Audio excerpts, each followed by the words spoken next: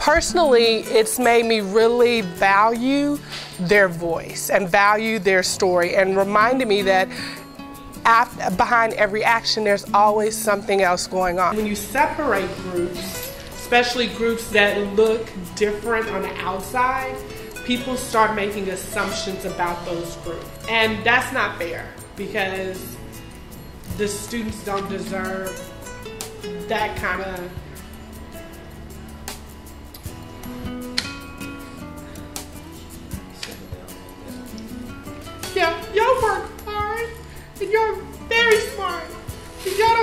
don't the way people look upon y'all because they compare you to the number one school in the nation.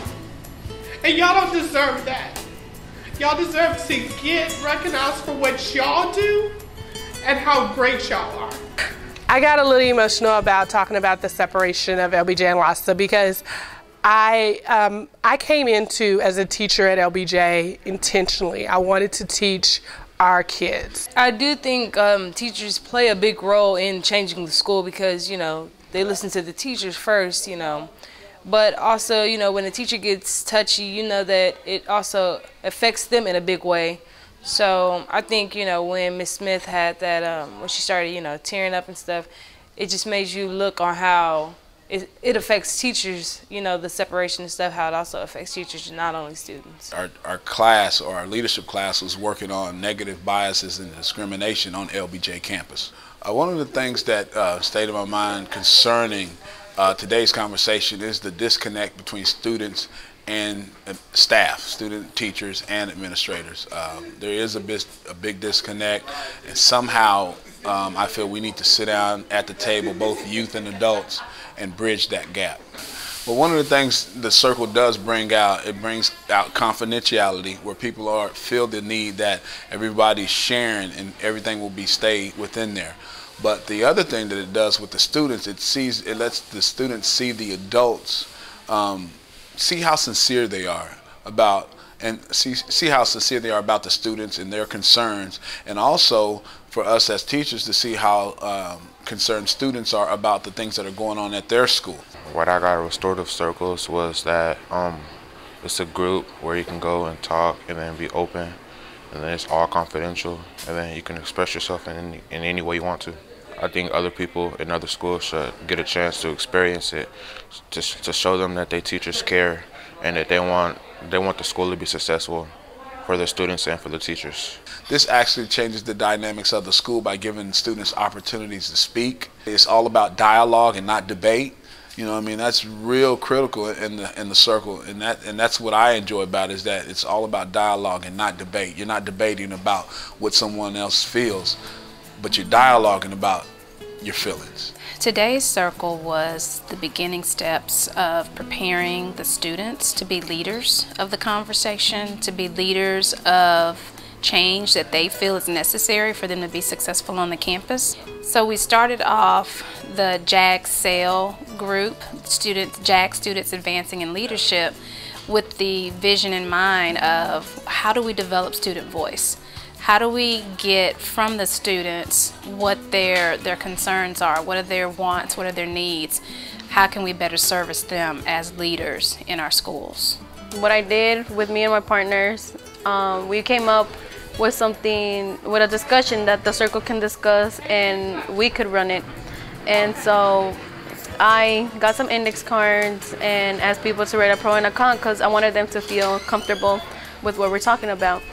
And with doing that, what I got was um, more help on my leadership building, um, which was to know how to make people feel comfortable, to know how to reach out to people in order for them to tell me what I need.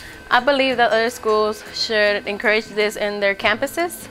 Um, why? Because it's a very helpful, it's a very helpful program and a very helpful um, thing to build up your confidence and to build up your leadership confidence and to feel better about yourself and how your life is going to be later on. I think restorative practices are the key ingredient to changing our current system of discipline in our schools.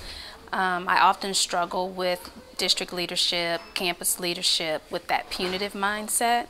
I see restorative practices as a vehicle to truly look at growth mindset. We do a lot of conversation around growth mindset in our schools, but then we continue to uh, perpetuate the the stagnant mindset. And I can't think of the term right now they use other than growth mindset, fixed. So we continue to use the fixed mindset instead of the growth mindset in the way that we go about our processes and our uh, policies and our practices in our school systems, but we're constantly preaching growth mindset, growth mindset. And so I see systemically that um, restorative practices have the potential to provide our schools with a voice around we know, we see, we think that something needs to change, restorative practices gives you that vehicle to begin to make that change and to develop student voice in making those changes. Um, one of the words we, the word that I used and I heard another person use was insight, and it is insightful for me. I, I got an opportunity here through the students things that we can do better as a campus to enhance their experience here at school. Um, it's easy for us to talk about what doesn't go, what what's not right, or what's going wrong, or even things that are going well, but to hear from their voice and in ways that we can better incorporate the kids into it. And I thought that was hugely impactful. The fact that they led the circle, um, the fact that they kind of dictated the dialogue, how we were going to talk, the talking piece, all of those aspects of it, and then you, taking that information to see how we can inform change at our campus. The the great part about this process has been, um, you know, the you didn't we didn't see it i didn't see it on the very first meeting but this unlayering this unpacking of all these things that we have to carry with us um, i think mr fletcher had mentioned it on the very first meeting about us having to project ourselves a certain way on campus, and we do have to do that. But it's been nice for the kids to see that vulnerable side of us, that side that is emotional, that side that does love, that does care, that cries. And so in that space, it's safe. It's safe for everyone to be open, to express themselves the way that they feel is going to be um, good for the group, and it did not feel uncomfortable. It didn't seem awkward, and the kids were not impacted in a way that was negative. In fact, it was. Um, um, as you said, their body language was more apt to lean in and listen more intently to hear what that person had to say. And so, um, I mean, that's just been, that's huge because when do we get an opportunity in our environment, in our world, to sit down as adults and as kids and have those conversations without all those barriers and things that impact our world in the hallway? I think it's a really good process because I see them bringing up stuff that they're concerned with and they're getting a voice of the school. And I think once they get a voice, they're able to actually feel like they belong more. To see personally that my algebra teacher feels that way and that she was emotionally intact with what she feels that has need to be done with us in our future, it made me feel good. It feels like that I'm doing something right.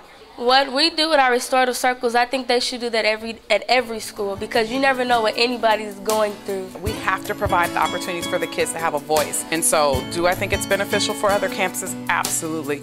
I think everybody should sit down and have that opportunity for kids and adults to sit down and come together in a safe place and have honest dialogue about things that impact everybody to improve change for the entire campus.